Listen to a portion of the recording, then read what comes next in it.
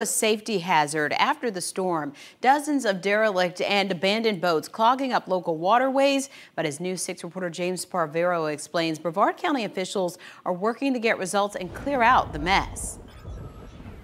At Kelly Park in Merritt Island, a 25-foot cabin cruiser is the latest derelict boat removed from Brevard waters. The county using an excavator on a barge to pick up an abandoned eyesore. That's really not the impression we want to give tourists. For 12 years, Matt Culver has been in charge of removing hundreds of boats like these with limited funding. Culver picks which boats will be removed based on how hazardous they are to the environment and the public.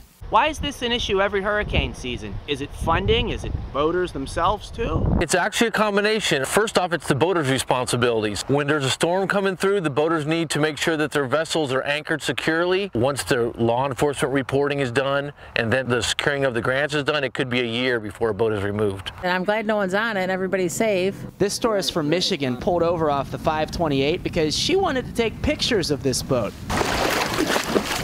County says this one won't be removed before hurricane season. I wouldn't call it an eyesore, more of a train wreck.